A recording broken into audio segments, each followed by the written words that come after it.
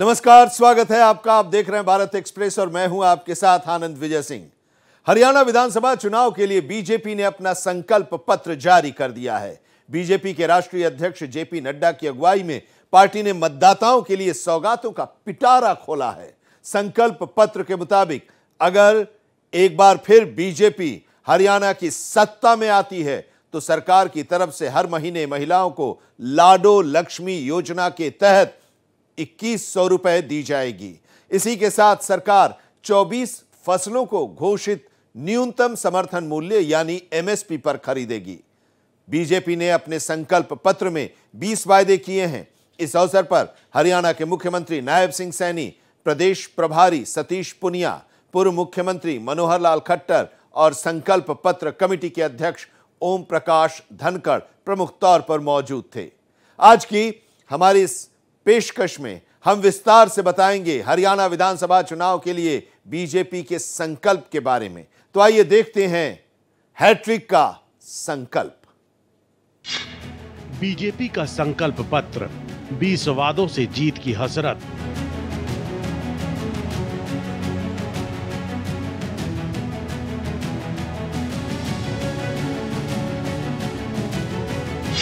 हरियाणा का चुनावी रण वोटरों के दिल का संकल्प पत्र।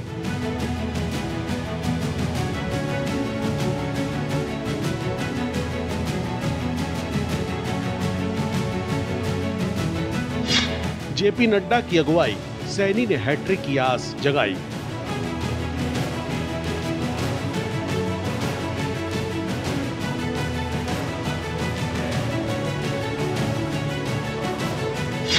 दस साल किया राज बड़े वादों के सहारे बीजेपी सरकार।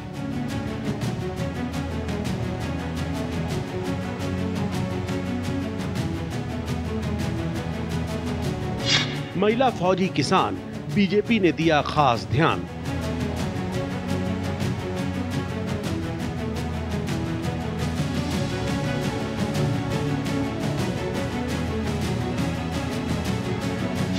महिलाओं को किया टारगेट, आधी जीत का फार्मूला सेट।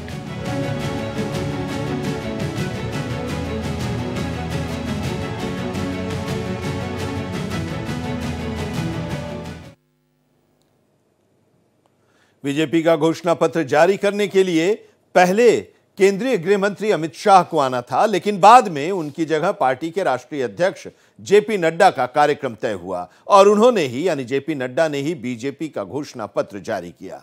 संकल्प पत्र नाम से जारी किए गए बीजेपी के घोषणा पत्र में किसानों के साथ साथ महिलाओं का भी खास तौर से ख्याल रखा गया है। संकल्प पत्र में हरियाणा के सभी अग्निवीरों को परमानेंट नौकरी देने का भी वादा किया गया है। हरियाणा विधानसभा चुनाव 2024 के लिए बीजेपी ने अपना संकल्प पत्र जारी कर दिया है। रोहतक में पार्टी के राष्ट्रीय अध्यक्ष जेपी नड्डा ने संकल्प पत्र को जनता के सामने पेश किया। समारोह में कार्यवाहक सीएम नायब सिंह सैनी, समेत केंद्रीय मंत्री मनोहर लाल खट्टर, प्रदेश प्रभारी सतीश पूनिया, हरियाणा चुनाव प्रभारी धर्मेंद्र प्रधान के अलावा बड़े नेता मौजूद थे। बीजेपी का संकल्प पत्र संकल्प पत्र में अग्निवीर को सरकारी नौकरी की गारंटी दी गई है। महिलाओं को हर महीने इक्कीस सौ रूपए देने का वादा किया गया है। ये राशि कांग्रेस के जारी घोषणा पत्र से सौ रूपए ज़्यादा है। इसमें पाँच सौ रूपए में गैस सिलेंडर देने जैसी बीस बातें हैं। रोहतक में संकल्प पत्र जारी करते हुए नड्डा ने कहा कि अस्पतालों में डायलिसिस फ्री होगा और चिरायु आयुष्मान योजना में 10 लाख तक इलाज मुफ़्त हो सकेगा। नड्डा ने कहा कि बीजेपी ने 20 संकल्प रखे हैं। हरियाणा के विकास को नॉन स्टॉप रखने के लिए सिग्नल आपको डाउन करना है, वो किसका करना है, ये आपको तय करना है। बीजेपी के राष्ट्रीय अध्यक्ष जेपी नड्डा ने इस मौके पर कहा कि मोदी जी के नेतृत्व में तीसरी बार केंद्र में हमने सरकार बनाई। अब यही अभिलाषा और इच्छा लेकर हम चले हैं कि हरियाणा की जनता का आशीर्वाद मिले और तीसरी बार भी हम यहाँ कमल का परचम लहराएँ। मित्रों, हम मोदी जी के नेतृत्व में तीसरी बार केंद्र में हमने सरकार बनाई। और अब यही अभिलाषा और यही इच्छा लेकर हम चले हैं कि हरियाणा की जनता का आशीर्वाद मिले, रोहतक की जनता का आशीर्वाद मिले, और तीसरी बार भी हम यहाँ कमल का परचम लहराएँ और मनीष ग्रोवर जी को चुनाव जेपी नड्डा ने कहा कि हरियाणा की छवि 10 साल पहले क्या थी? पहले हरियाणा में नौकरी के लिए पर्ची खर्ची चलती थी। नौकरी के कारण लोगों को सजाएँ तक हुई। हरियाणा जमीनों के घोटाले के लिए जाना जाता था। उनका रियल मैनिफेस्टो ये था कि ज़मीन का घोटाला, किसानों की ज़मीन को हड़पना, उनकी ज़मीन की श्रेणी को बदलना। नड्डा के मुताबिक कांग्रेस शासन में किसानों को पहले आठ फ़सलों पर एमएसपी देते थे, लेकिन आज बीजेपी सरकार 24 फ़सलों पर एमएसपी दे रही है। सरकार ने हर खेत तक पानी पहुँचाया। खेलों को बढ़ावा देने के लिए एक हज़ार खेल नर्सरी बनाई। पहले दिल्ली से हरियाणा के लिए चार घंटे लगते थे, लेकिन आज एक घंटा भी नहीं लगता। ये फ़र्क आपको साफ़ दिख रहा है। एमएसपी, ये किसान के बारे में नारे लगाते हैं ना आजकल कांग्रेस हरियाली आँसू बहाते कि नहीं बजाते? हुड्डा जी को देखा है कि नहीं देखा? आँसू बहाते हुए किसानों के लिए।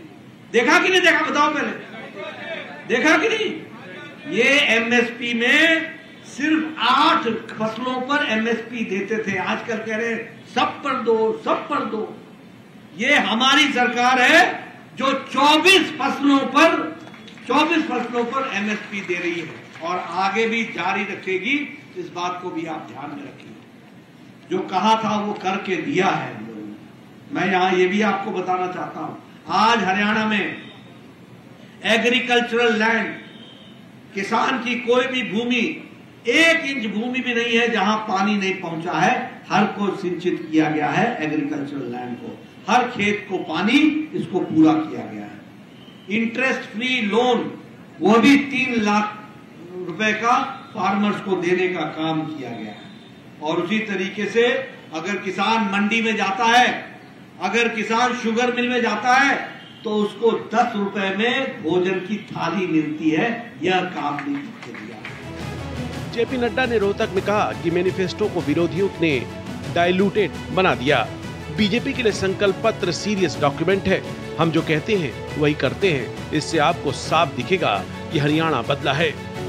बीजेपी अध्यक्ष के दावे, हरियाणा का एक्सपोर्ट 10 साल में अड़सठ हज़ार करोड़ से बढ़कर ढाई लाख करोड़ से ज़्यादा का हो चुका है।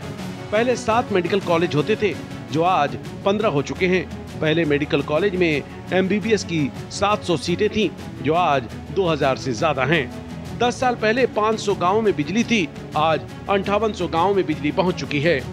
नड्डा के मुताबिक बीजेपी ऐसी अकेली पार्टी है जो कैडर आधारित पार्टी है। बाकी पार्टियाँ ऐसी हैं नेता है तो नियत नहीं नेता है तो नीति नहीं नेता है तो कार्यकर्ता नहीं। बीजेपी ऐसी अकेली पार्टी है जहाँ नेता भी हैं, नियत भी है नीति भी है। कार्यकर्ता भी हैं और काम करने का वातावरण भी है। मैं यहाँ आपको ये भी बताना चाहता हूँ, ये हमारी अकेली पार्टी है, जो कैडर बेस्ड पार्टी है, जो नेता युक्त पार्टी है। बाकी पार्टियाँ कैसी हैं? नेता है तो नियत नहीं है, नेता है तो नीति नहीं है। अगर नेता है तो कार्यक्रम नहीं है, अगर नेता है तो पार्टी का कार्यकर्ता नहीं है। हमारी अकेली पार्टी है जहाँ नेता भी है, प्रधानमंत्री मोदी जी से लेकर, प्रदेश में नायब सिंह सैनी से लेकर, आपके इलाके को मनीष ग्रोवर से लेकर, नेता ही नेता है। नेता भी है, नियत भी है, नीति भी है, कार्यक्रम भी है, कार्यकर्ता भी है, और कार्यकर्ता का काम करने का वातावरण भी है, ये मिला है तो हम बीजेपी नेतृत्व के मुताबिक संकल्प पत्र में जो भी बातें हैं, उसे सरकार बनने पर लागू किया जाएगा।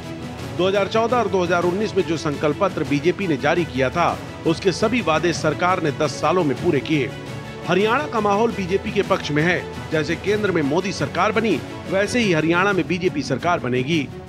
कार्यवाहक सीएम नायब सैनिक के मुताबिक, बीजेपी खटाखट और टकाटक की राजनीति में विश्वास नहीं करती। हम जो कहते हैं, उसे पूरा करते हैं। यह बात आज आप नोट कर लीजिए, जनता त्रस्त है कांग्रेस के इन शेख चिल्ली बातों से और झूठे वादों से। कांग्रेस ने जिस प्रकार के वायदे किए हैं, कांग्रेस ने कहा कि खटाखट और टकाटक की जो कांग्रेस की जुगलबंदी है, भारतीय जनता पार्टी उसमें विश्वास नहीं करती है। मैं आप, आज आप लोगों को इस बात के लिए बताना चाहूँगा कि आठ तारीख को जब रिज़ल्ट आने के बाद आप मैनिफेस्टो को अपने पास रख लेना और टिक लगाते जाना कि जो वायदे पूरे हो जाएँगे, मैं फिर आपसे इसके बाद मिलूँगा कि हमारी सरकार कितनी गति से अपने वायदों के ऊपर पूरा करती है। घोषणा पत्र जारी करते हुए बीजेपी की तरफ़ से बताया गया कि संकल्प पत्र के लिए हमने दो लाख से ज़्यादा लोगों के सुझाव लिए। कमेटी ने हर ज़िले में जाकर समाज के हर वर्ग से बातचीत करने की कोशिश की। इस बार हमारे घोषणा पत्र में एरिया वाइज ज़रूरत की चीज़ों को शामिल किया है। इस संकल्प पत्र में महिला, युवा, किसान, उद्योगपति, छोटे व्यापारी, पिछड़े वर्ग के लोग, हमारे बेरोजगार युवा समाज के हर वर्ग के लिए कुछ न कुछ रखा गया है। हम संकल्प पत्र में ऐसी घोषणा नहीं करते हैं जो पूरी न कर सके। जो बजट है, उसी के हिसाब से वादे किए हैं। बीजेपी आलाकमान ने कांग्रेस की घोषणा पत्र पर सवाल उठाते हुए कहा कि कि कुछ पार्टियाँ ऐसी घोषणाएँ करती हैं जो वो कभी पूरी नहीं कर पाती। नायब सैनी ने इस मौके पर दावा किया कि जेपी नड्डा ने जो संकल्प पत्र जारी किया है, ये महज चुनावी घोषणा नहीं है। ये हमारा संकल्प है, हमारा ध्येय है, हमारा लक्ष्य है।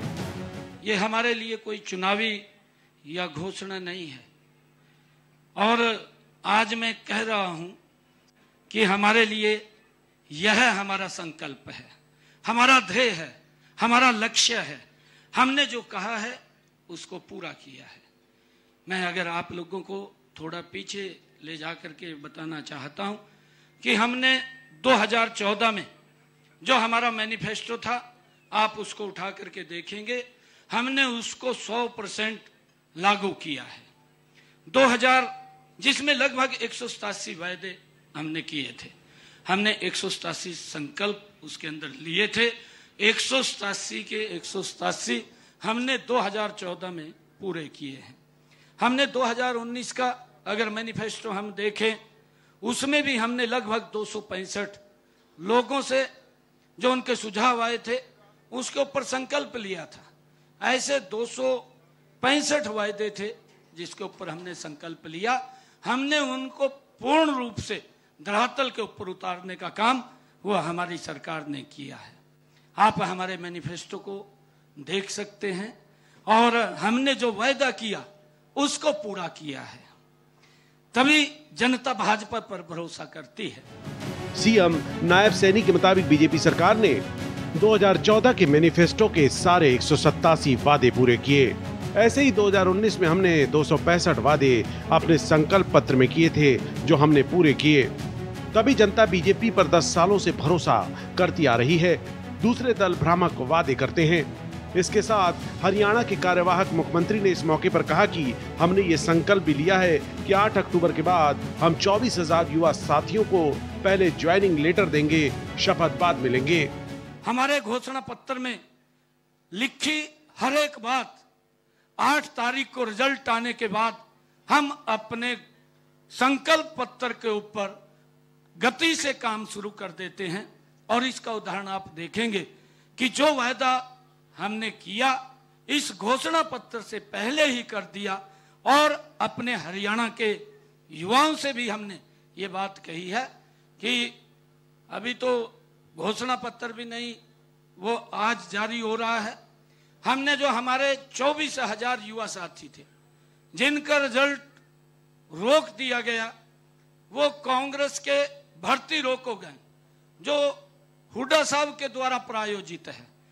चौबीस हज़ार युवाओं की भर्ती को वो रोक दिया गया और हमने ये संकल्प लिया है कि हम इन चौबीस हज़ार युवाओं को पहले ज्वाइनिंग लेटर देंगे और बाद में हम सब लेंगे क्योंकि हमारी जो पार्टी, हमारी सरकार है, युवाओं के साथ हम मजबूती से खड़े हैं, उनके साथ कोई समझौता हम नहीं करते हैं।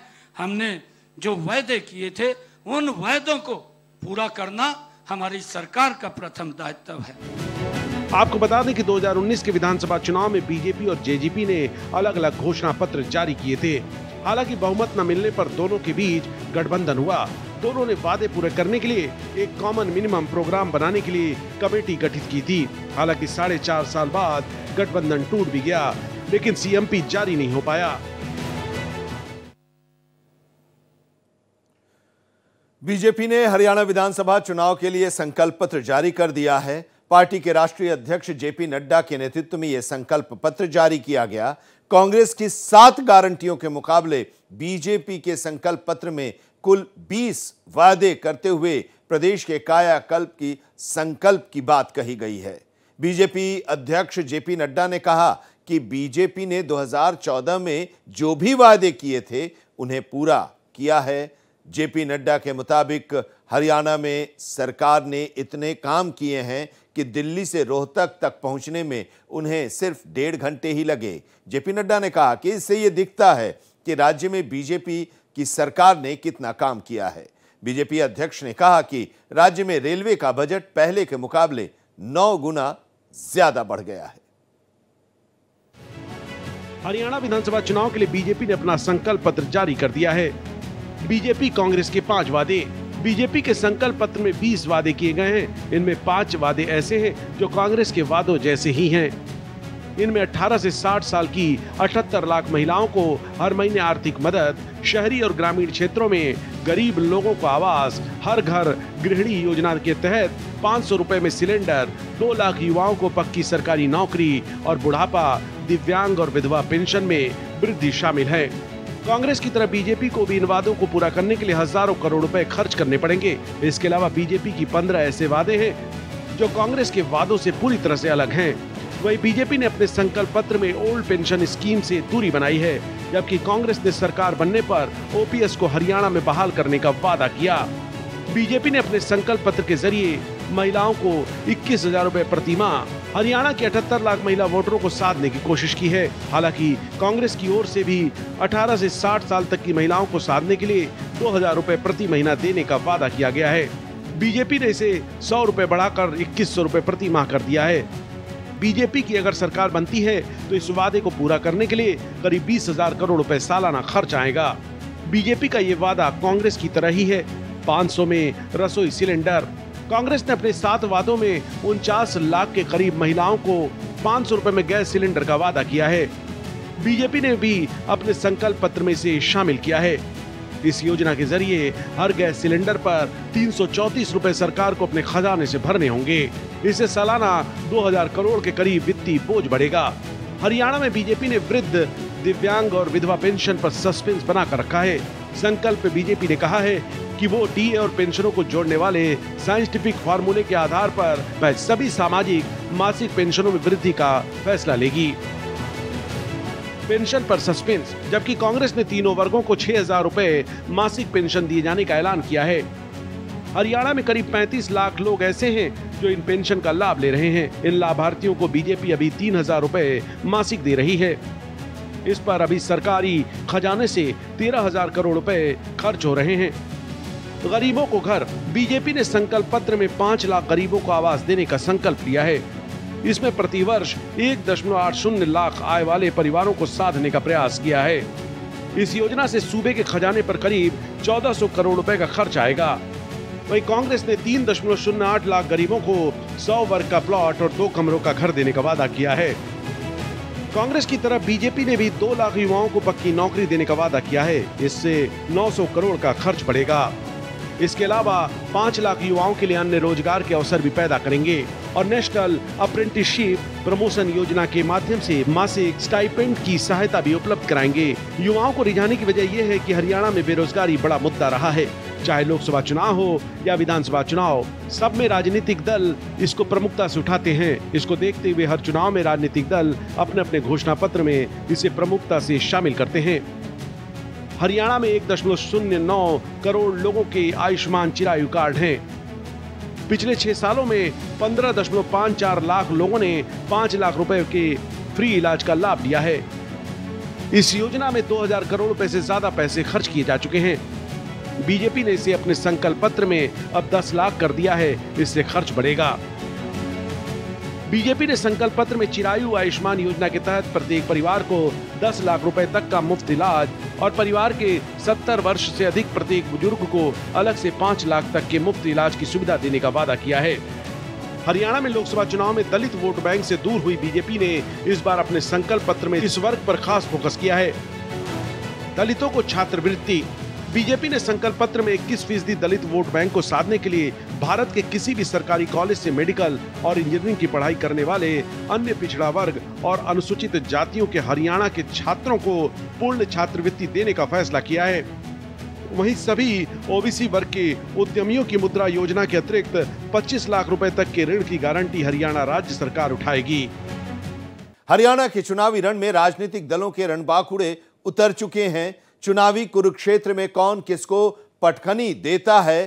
कौन अगले पाँच साल के लिए सूबे की सत्ता के शीर्ष पर काबिज होता है और किसके हिस्से पाँच साल का इंतज़ार आता है? इसका फैसला सूबे की जनता पाँच अक्टूबर को ईवीएम में कैद कर देगी। जनार्दन की भूमिका निभाने जा रही जनता को अपने पाले में लाने के लिए राजनीतिक दलों ने वादों का पिटारा भी खोल दिया है। पहले कांग्रेस ने सात गारंटियों का घोषणा पत्र जारी किया तो वहीं जवाब में भारतीय जनता पार्टी ने वादों की बौछार करते हुए अपना संकल्प पत्र जारी कर दिया है। बीजेपी और कांग्रेस दोनों दलों के चुनावी घोषणा पत्र को देखें तो इसके चार टारगेट वर्ग नज़र आते हैं। किसान, पहलवान, नौजवान और गरीब। हरियाणा में कांग्रेस के सबसे बड़े चेहरों में से एक पूर्व मुख्यमंत्री भूपेंद्र सिंह हुड्डा का कहना है कि हरियाणा में तीन चीज़ें ही हैं। जय जवान, जय किसान और जय पहलवान। जय जवान सेना से रिलेट करता है और हरियाणा में चुनाव में सेना भर्ती की अग्निवीर स्कीम बड़ा मुद्दा है।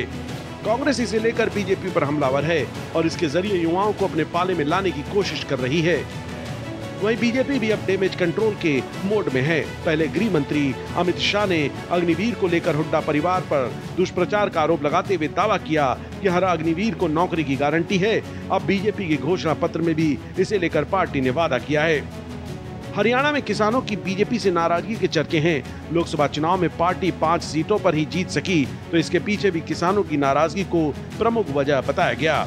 विधानसभा चुनाव में शंभू और खनौरी बॉर्डर पर 2019 दिन से जारी किसान आंदोलन के साय में हो रहे हैं। ऐसे में कांग्रेस ने किसानों की एक प्रमुख मांग, न्यूनतम समर्थन मूल्य यानी एमएसपी की लीगल गारंटी को अपने सात वादों में प्रमुखता से जगह देकर किसान कार्ड चला दिया है।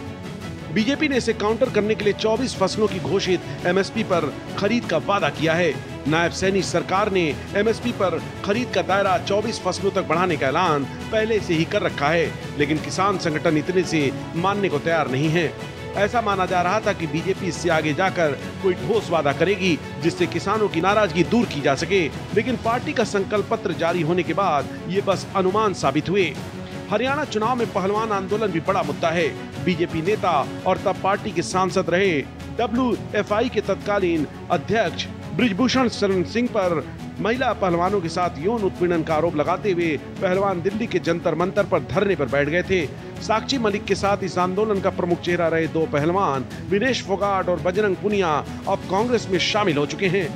कांग्रेस ने विनेश को जुलाना सीट से चुनाव मैदान में भी उतार दिया है। कांग्रेस ब्रिजभूषण सिंह के हालिया बयान को भी हरियाणवी अस्मिता से जोड़कर खेल खिलाड़ी और जाट के बीच ले जा रही है। उन्होंने विदेश और पेरिस ओलंपिक के फाइनल मुकाबले से पहले अयोग्य ठहराए जाने को लेकर तंज किया था। खेल जगत से जुड़े लोगों के बीच वोटों का नुकसान न हो, इसके लिए बीजेपी ने अपने संकल्प पत्र में हर ज़िले में ओलंपिक नर्सरी का वादा किया है। हरियाणा की एक पहचान सेना की नौकरी भी है और सेना भर्ती की अग्निवीर योजना सूबे के सबसे बड़े मुद्दों में से एक है। देश की कुल आबादी में हरियाणा की भागीदारी करीब दो फ़ीसदी है और सेना में सूबे का प्रतिनिधित्व दस फ़ीसदी है। कांग्रेस इसे लेकर भी बीजेपी को लगातार घेर रही है। अग्निवीर को लेकर युवाओं की नाराज़गी, कैश कराने की कोशिश में जुटी कांग्रेस ने अपने गारंटी पत्र में दो लाख रिक्त पदों पर नियुक्ति के साथ ही नशा मुक्त हरियाणा के लिए पहल करने का वादा किया है। वहीं बीजेपी ने अपने संकल्प पत्र में अग्निवीर पर डैमेज कंट्रोल के लिए हर हरियाणवी अग्निवीर को सरकारी नौकरी की गारंटी दी है। युवाओं को रोज़गार। बीजेपी ने दो लाख युवाओं को बिना पर्ची, बिना खर्ची, पक्की सरकारी नौकरी के साथ ही पाँच लाख युवाओं को अन्य रोज़गार के अवसर और नेशनल अप्रेंटिसशिप प्रमोशन योजना से मासिक स्टाइपेंड देने का वादा किया है। बीजेपी के संकल्प पत्र में आईएमटी खरखोदा की तर्ज पर 10 औद्योगिक शहरों के निर्माण और हर शहर में पचास हज़ार लोकल युवाओं को नौकरी देने के लिए उद्यमियों को विशेष प्रोत्साहन देने का भी वादा किया है।